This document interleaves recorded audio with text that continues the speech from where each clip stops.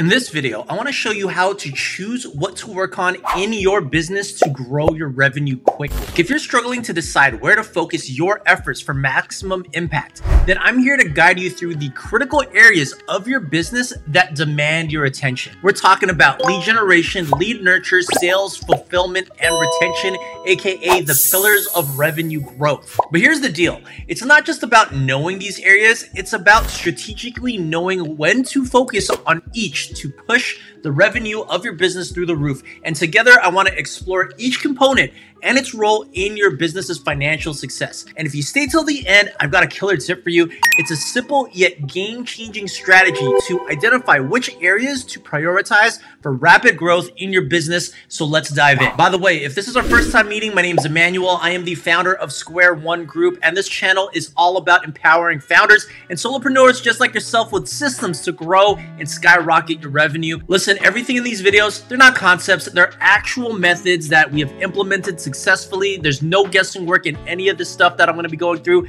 today. These are all strategies that you can apply to achieve new degrees of success in your business. And the strategy that I'm going to be sharing with you today is something that I learned and I use successfully to scale my business. I've also applied the same methodology to other people's businesses, and they've all seen direct increases in revenue. Listen, it's all about knowing where to put your effort, but more importantly, when to not only grow, but to grow smartly and sustainably. So let's dive into these pillars and start transforming how you approach your business's growth. Now, I want to start by talking about a common roadblock that I see many entrepreneurs making.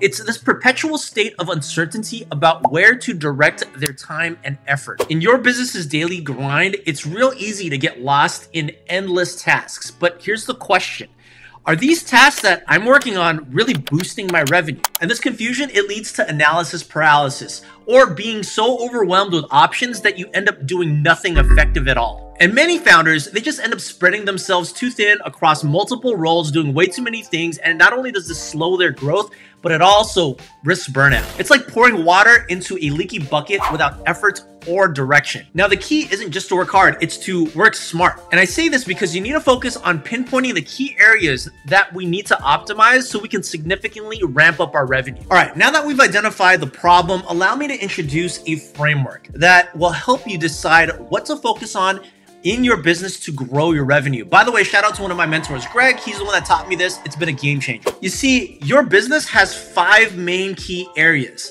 lead generation, lead nurture, sales, fulfillment, and retention. And you need to take a systematic approach to when and how to tackle each. So let's talk about each one of these key areas for a second. Let's start with lead generation. Ask yourself, how effective is your current lead gen strategy? Are you attracting the right audience?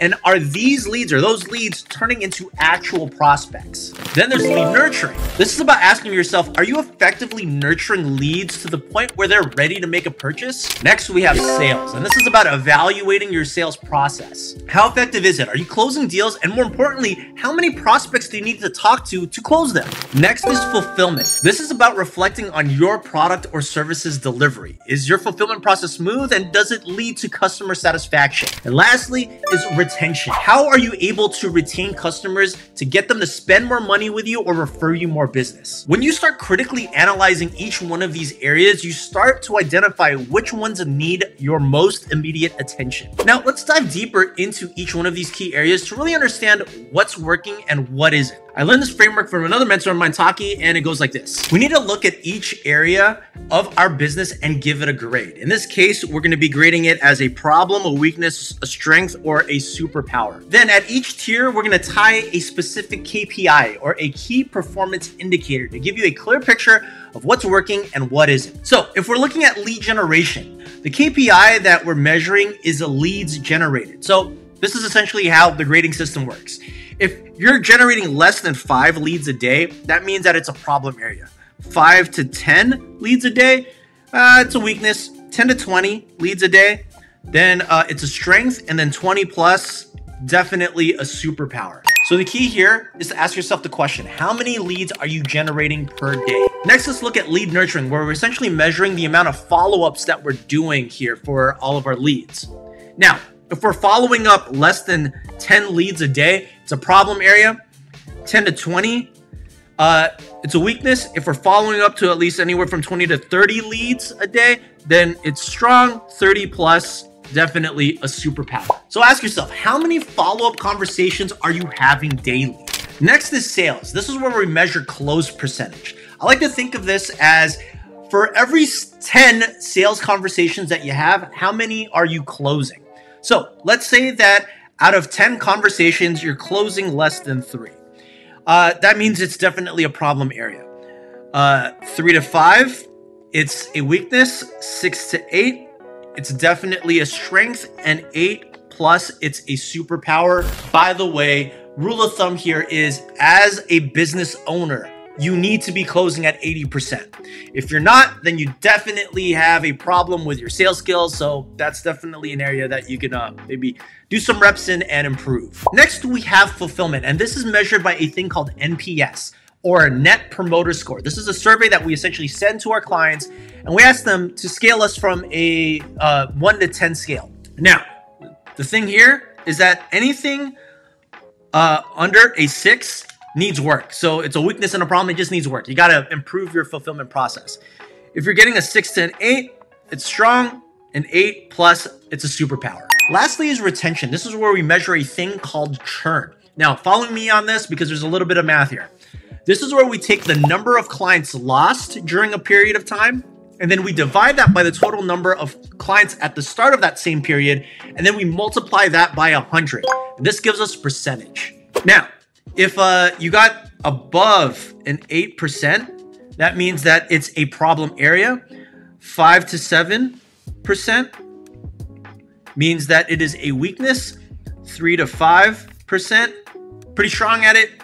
2% or plus, or I should say minus, uh, then it's definitely a superpower. By the way, all the clients that we work with, we actually workshop what I just went through with them in a more detailed framework inside of our program. It's called Community Builder. If you're at all interested in looking for some help setting up some systems like this, then hey, there's a link in the description below for a quick 10 minute brainstorm session. Go ahead and click it and uh, let's see if we can help you out. Okay, now that you have a clear understanding of where each area of your business stands, it's time to start to prioritize. This is where strategy comes into play. You see, all of these areas of your business, they are all dependent on each other. And you can't skip around and try to tackle each of these problem areas by however you feel on whichever day it is. There's actually a sequence of how you need to attack each one of these areas. Okay, so here's an example of a graded, you know, uh, business.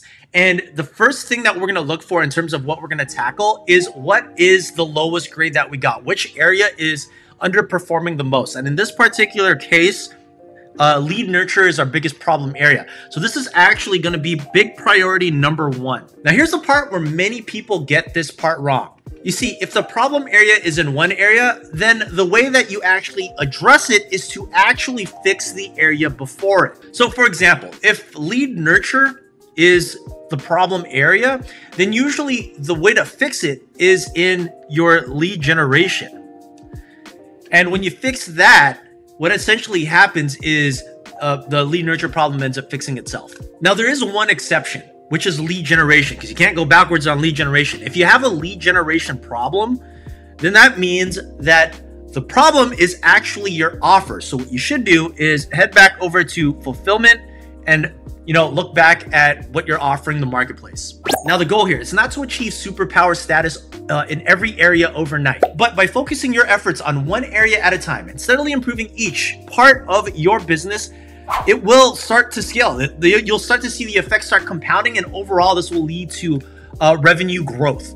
By the way, if you found this video insightful at all so far, if you uh, would be so kind as to click that like button, subscribe button, the bell icon, you know, all that good stuff. Now, remember earlier in this video, I mentioned this actionable strategy that will quickly improve your business? Well, here it is. It is a very simple framework and it is about speed. I call it the three week rule. Now, ideally, you're going to implement some sort of strategy to improve an area of your business.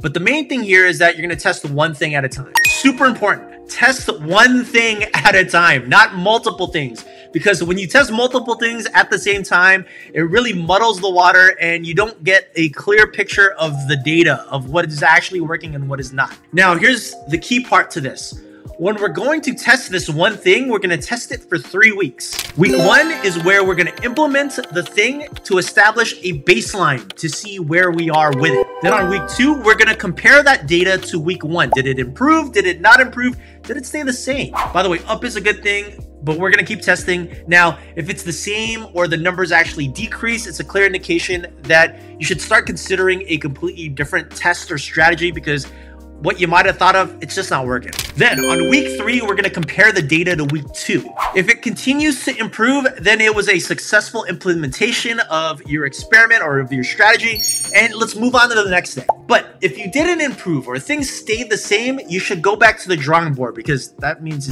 whatever you decided to do, it just didn't work. Now, when you adopt a systematic approach like this, you're not just shooting in the dark, you're actually making an informed, data driven decision that will cumulatively lead to significant growth in your business.